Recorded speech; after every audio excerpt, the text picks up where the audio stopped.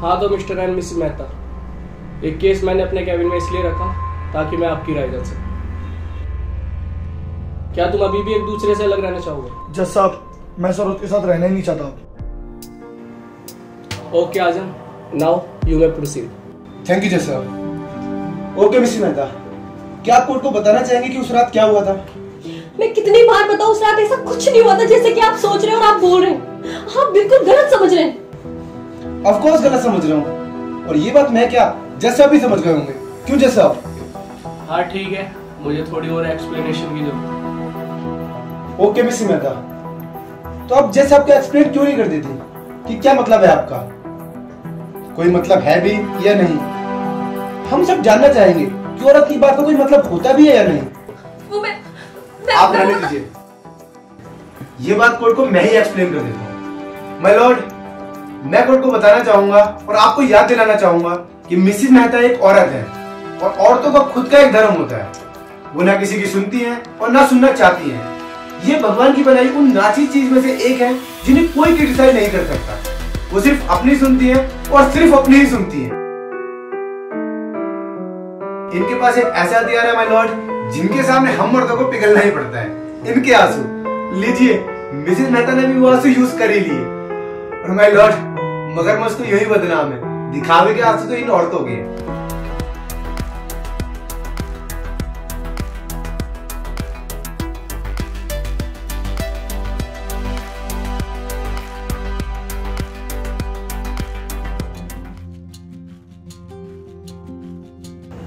Thank you वकील साहब। आपने मुझे केस जितवा दिया। अरे इसमें क्या है? आज़म आज तक कोई केस नहीं आ रहा। जानते हो क्यों? वो क्यों? क्योंकि आज़म औरतों को केस नहीं लेता उन्हें हरा के उनके घमंड को तोड़ने में बड़ा मज़ा आता है। ओके थैंक यू केस ना प्लेजर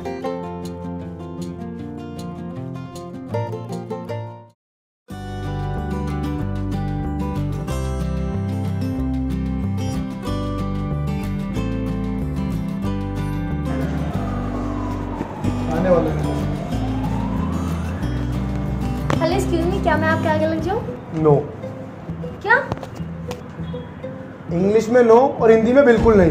दिक्कत क्या है? दिक्कत दिक्कत यह है कि जब ये लाइन 500 मीटर लंबी थी ना तब से मैं इस लाइन में हूँ। और आप यहाँ पे आके एक नकली सी स्माइल देके कि मैं आगे लग जाऊँ। ऐसा भी हो सकता। वाह सिर्फ़ तुम जैसी लड़कियों की वजह से लोग लड़कियों को अंडरएस्टिमेट करते हैं। यहाँ इक्वालिटी की लड़ाई लड़ने में लगे हुए हैं और तुम खुद को कमज़ोर साबित करने में लगी हुई हो। थैंक यू सर जो आपने इसे आगे नहीं लगने दिया, वरना कोई और का तो अलाउ कर देता।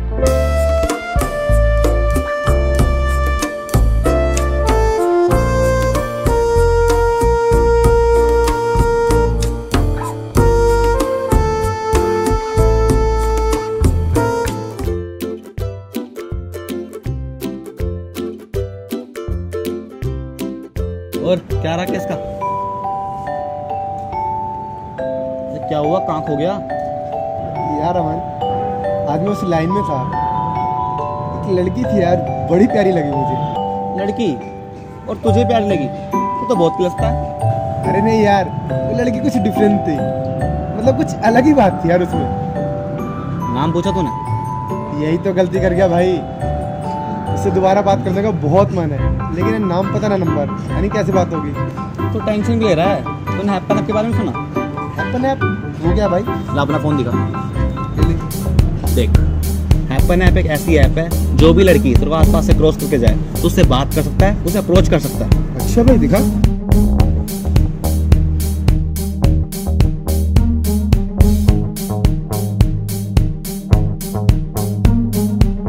मिल गई यार, ये नहीं क्या बात है भाई, ये तो बहुत अच्छी ऐप है यार।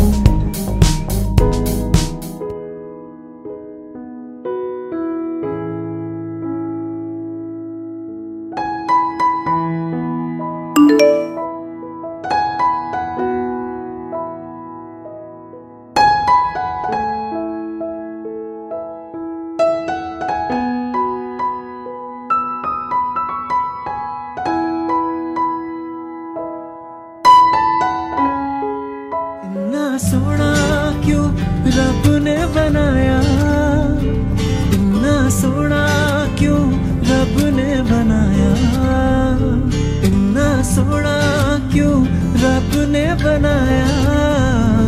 इतना सोना क्यों रब ने बनाया? आवा जावा के मैं यारा नू मना।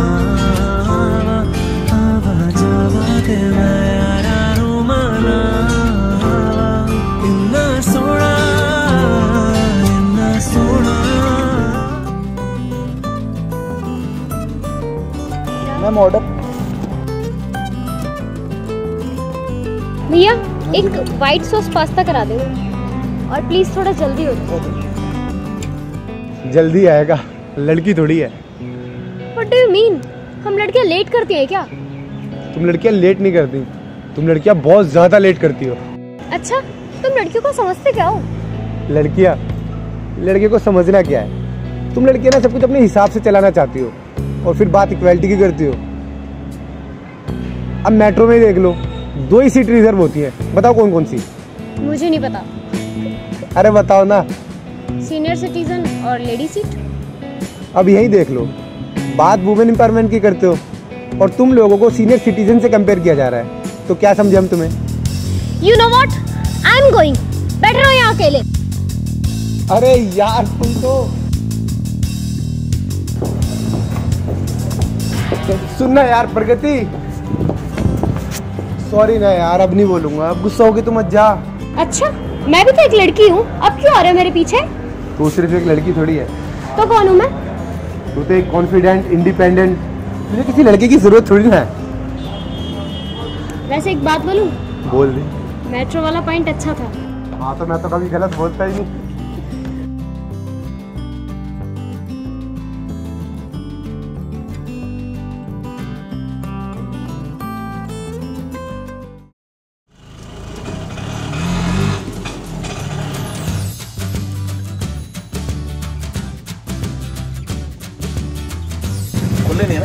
नहीं ना दो है ना? तो ऑफ़िस में चल मैं अभी आती हूँ मैं खुले करवा के आती हूँ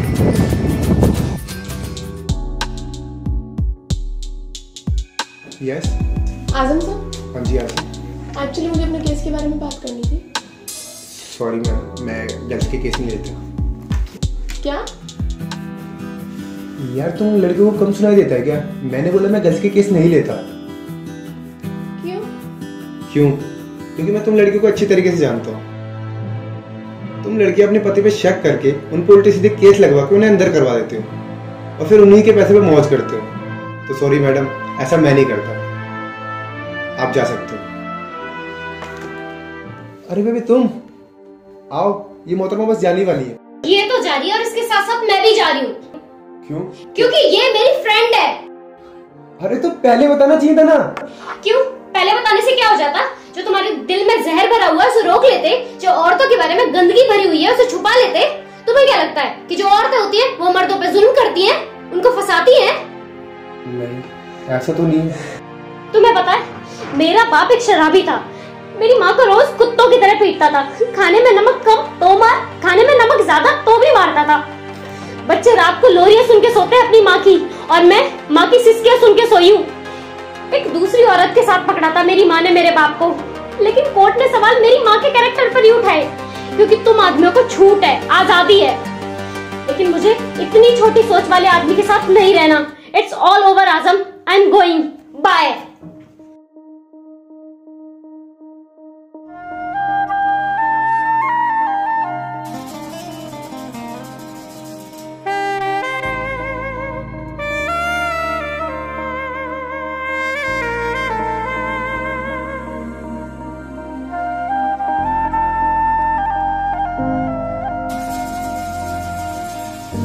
como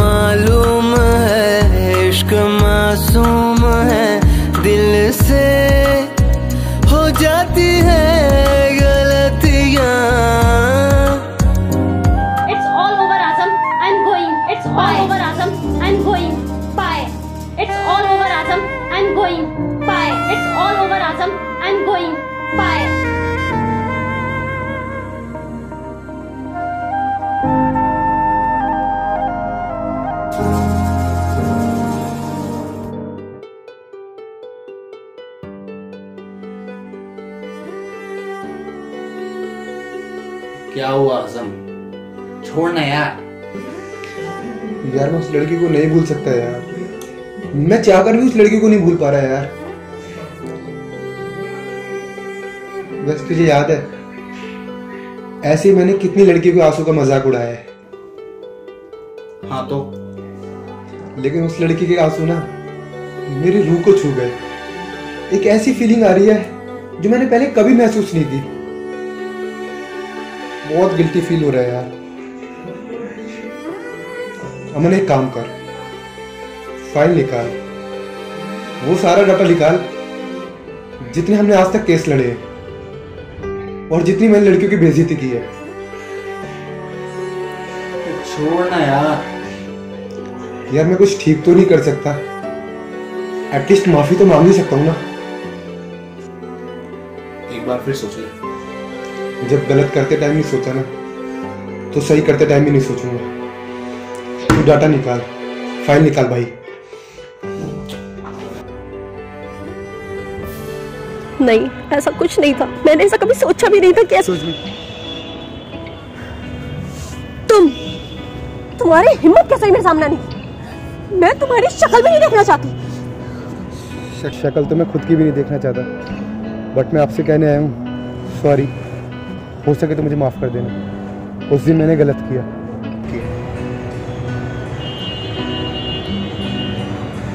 ओके। चलो अच्छा है। तुम सुधर रहे हो। थैंक यू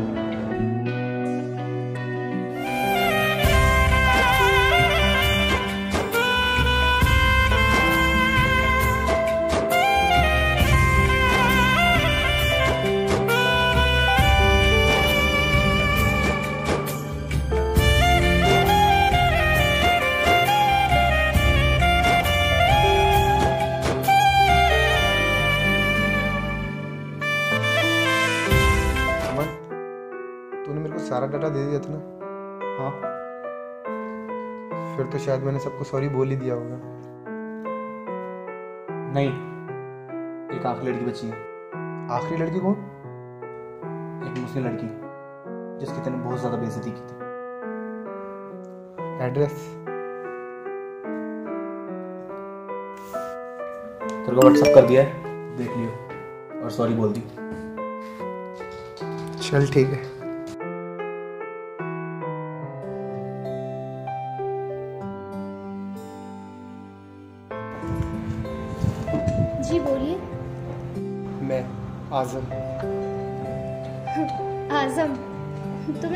सकती हूँ मैं? तुम तो वही हो ना जिसने मुझे सरेआम बदनाम किया था। एक्चुअली मुझे तो पता भी नहीं कि मैंने कब और किसे किसे बदनाम किया हाँ लोग अक्सर बदनाम करके भूल जाते हैं। वैसे मैं आपसे माफ़ी मांगने आया था। माफ़ी? उससे क्या होगा? तुम्हारे दिल को सुकून मिल जाएगा। और मेरे दिल का क्या? जो आज तक सिर्फ़ एक ही सुकून में जी रहा था कि तुम एक गुनाहगार हो। गुनाहगार तो मैं हूँ।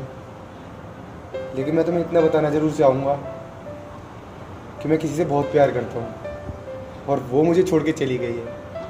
तो अगर आपको मेरी तकलीफ़ से खुशी मिलती है ना तो तुम वो सोच सकते हो। इतना प्यार करते हो उससे? मुझे नहीं पता प्यार था या क्या लेकिन मैं इतना ज़रूर जानता हूँ कि जब से वो मुझे मिली है मैं खुद को भूल गया हूँ। और अगर वो तुम्हारे सामने आ जाए तो? पता नहीं यार लेकिन मैं उसे इतना ज़रूर बताना चाहूँगा कि आज़म एक अच्छा इंसान बनने की पूरी कोशिश कर रहा है। वो मैंने देख लिया आज़म। तुम? हाँ मैं। तुम्हारे फ्रेंड्स ने मुझे पहले ही सब कुछ बता दिया था और मैंने ही उन्हें बोला था तुम्हें मेरे पास आने के लिए। इसका मतलब तुमने मुझे माफ़ कर दिया? हाँ पागल। तुम लड़कियाँ एक बात में क्यों नहीं टिक सकती?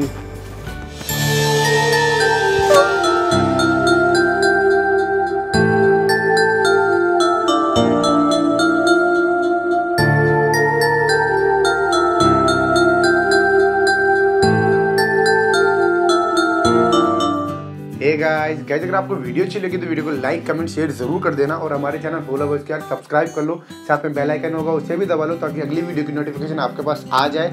और गाइस हैपन एप्लीकेशन को डाउनलोड कर लो, बहुत अच्छी ऐप है। Link below in the description तो लव यू गाइस